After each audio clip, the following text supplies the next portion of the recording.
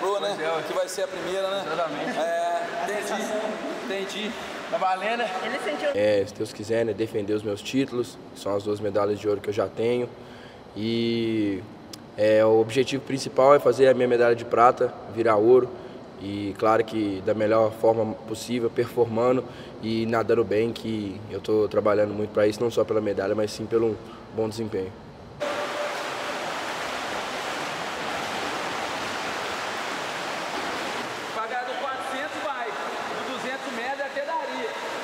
Inicialmente o que me chamou a atenção foi a habilidade que ele tinha, né, fora das piscinas, né?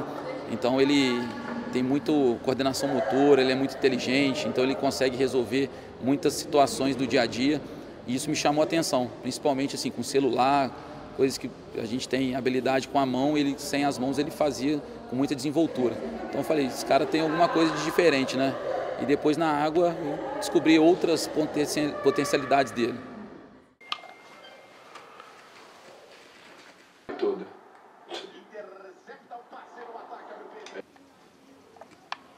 A gente não consegue nem calcular quantos obstáculos a gente passa por dia, mas só serve para nos fortalecer e é aquilo, né? A gente pode ser o que a gente quiser ser, dependente da, da área, dependente do que você sonha, do que você acredita. Você tem que sempre é, ficar em busca do, do seu sonho aí, sempre trabalhar para se tornar o melhor naquilo que você deseja.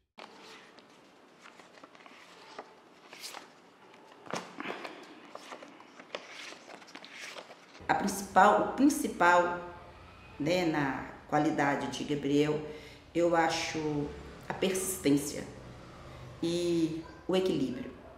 Então eu acho que essa persistência, essa, né, todas as vezes que as pessoas falavam não, isso não o diminuía.